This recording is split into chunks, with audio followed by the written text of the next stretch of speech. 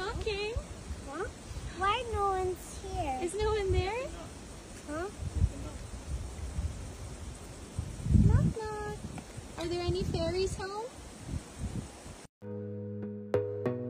Si Ann Curtis ay nagbahagi ng isang nakakatuwang video kung saan makikita siyang kasama ang kanyang anak na si Dalia Amalie Youssef na nakadamit na parang isang fairy kasama si Erwan Youssef sa Valley of the Giants Treetop Walk. Ang kakaibang pagsilay ng mga puno at ang maaliwalas na damdamin ng kanyang pamilya habang naglalakbay ay lubos na nagpasaya sa mga tagapanood. Hindi lang ito simpleng travel kundi isang masayang bonding nila bilang pamilya.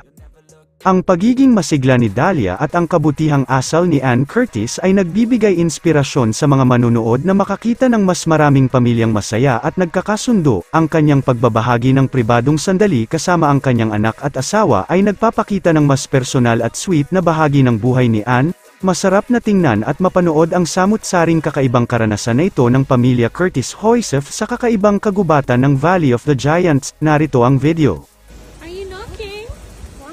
Why no one's here? Is no one there? Huh? Knock knock. Are there any fairies home? Yeah, point to the mama.